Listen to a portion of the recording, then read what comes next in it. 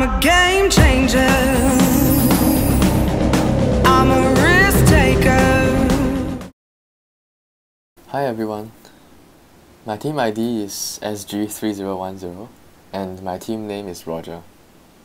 From the team ID and the team name, you can probably deduce that number one, I'm from Singapore, and number two, the only member in my team consists of this guy named Roger.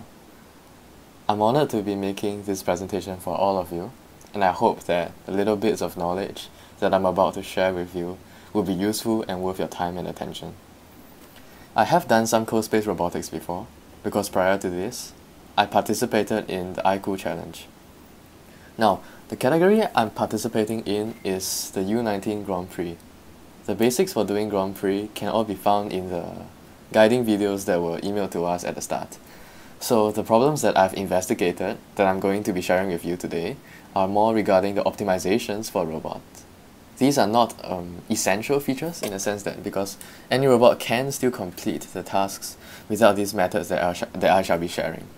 However, these methods allowed me to cut down my robot's runtime, so I'm sure all of you would appreciate it too. So the problems that I investigated are, firstly, how to integrate PID control into the line tracking code. And secondly, how to push speed while maintaining stability. The result is a better optimized run that is obviously more smooth. I'm sure everyone who has done the warm-up challenges and the preliminary rounds would know. The mission for Grand Prix is to find the fastest way to move from the start point to the end point, while passing through all the orange waypoints. The challenge task can essentially be broken down into three mini-tasks. The overall mission will be solved when these three tasks are put together. So the first problem that I investigated is how to integrate PID control into line tracking. PID control is a very powerful method for controlling systems, used often even at the industrial level. First, let me get some terminologies. What we call the ideal state is what we want to achieve. In our case, we ideally want our robot to be in the center of the line that it is following. So, being in the center of a line is our ideal state. Now, after we have established an ideal state, there will be error states. For example, when a robot is on the right side of the line instead of the center of the line, we call it an error state. Finally, a response is an action that can be taken to minimize the error states. For example, when our robot is on the right side of the line, we want to take the action of turning left, so the robot will travel closer to the center of the line, which is our ideal state. So the general idea of a control system is to introduce a response at the right time to achieve the ideal states and to avoid the error states. Now, PID control is just one special type of control system whereby we decide the response based on how big the error is, which is called P control. And we also decide the response based on looking at how much the system has been deviating from the ideal state in the past, which is called I control. And um, lastly, we also decide the response based on how much the system is expected to deviate from the ideal state in the immediate future, which is called D control. Just in case you're wondering, why do we choose these three alphabets, P, I, and D? Well, they are not chosen randomly.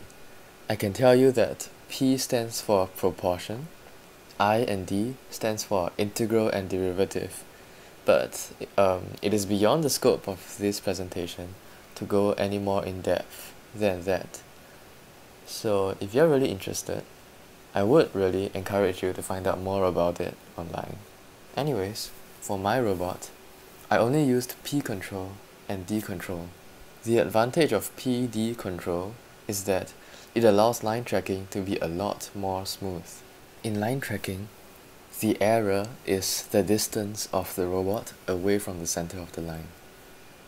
This can be found by looking at the IR array readings in the CoSpace robot. For PD control, the response is decided based on the size of the error and how much the error has changed.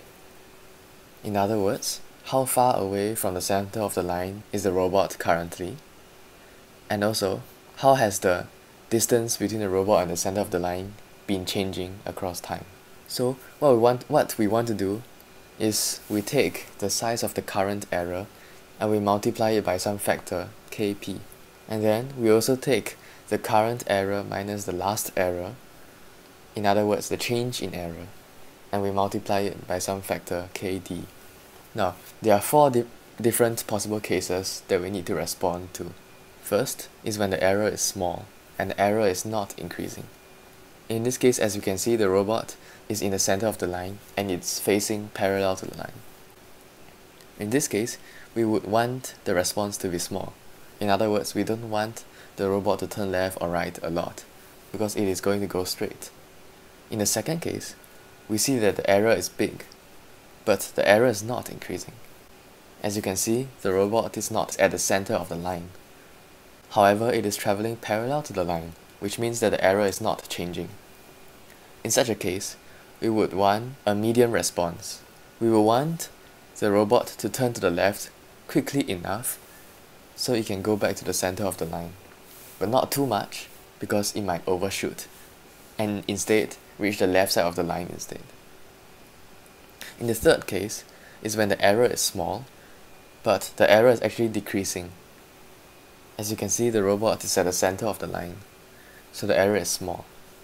However, we don't want the robot to keep moving straight because if it keeps moving straight then it's going to overshoot and hit the left side of the line instead. What we want is for the robot to turn right by a medium amount instead. So it will end up moving parallel to the line. In the fourth case is when the error is big and the error is also increasing. As you can see the robot is on the left side of the line so the error is big. And what's worse, the error is going to keep increasing because the robot is facing away from the line. In this case, we want the response to be big so the robot can quickly turn right and go back to the line. Another method that I want to share is to accelerate slowly to reach the top speed instead of commanding the robot to run at a very high speed immediately. The advantage is that it will make the robot run a lot more smoothly. Otherwise, if I were to command the robot to immediately run at base speed of 95, the robot would often jerk to the side and move in a very unstable way that often ends up going off the line. The logic for acceleration is very simple. If the current speed is smaller than the targeted maximum speed, then increase the speed by 1.